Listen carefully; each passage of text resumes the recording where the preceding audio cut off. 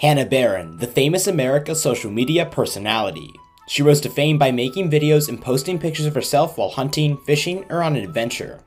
She was born in Crenshaw County, Alabama, England in 1999. Her parents, Jeff Barron and Lisa Barron, were divorced when she was very young, but she's still quite close to her father. Her love for these adventures was adopted from her father, who was an avid hunter. They hunt for animals depending on the hunting season. She's been hunting ever since she was a child. She assisted her father with hunting areas and became a regular visitor and gained a lot of knowledge from her father and then realized that it was her passion. And she started her own YouTube channel where she can be seen hunting animals. She could classify snakes and she killed her own first deer when she was only 8 years old. I was still learning how to spell the word correctly when I was of her age.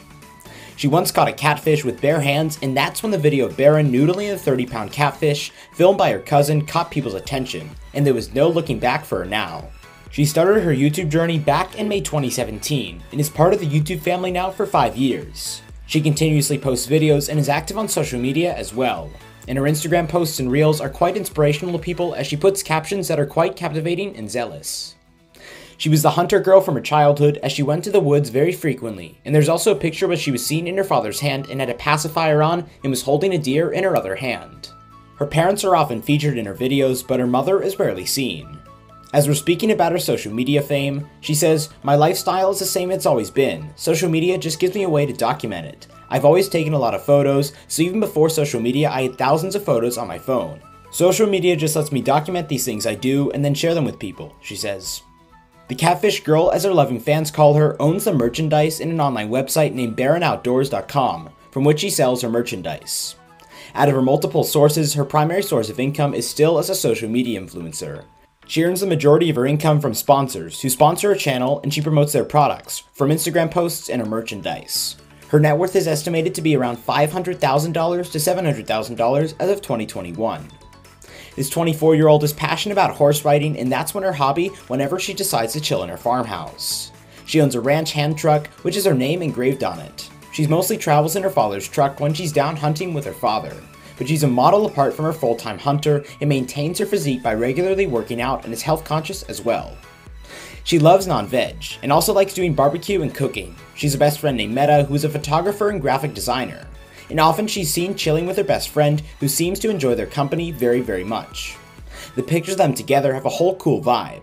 As mentioned earlier, she was featured in the magazine named South in the year 2019. When the world was hit by a pandemic, she spent most of her time in Alabama in her farmhouse. She's also campaigned for COVID awareness online by sharing pictures in 2020. She maintains her hunting material and firearms with immense and good care. She also has a vivid range of favorite brands, which include Nike, Gucci, LIV, CK, and LSV.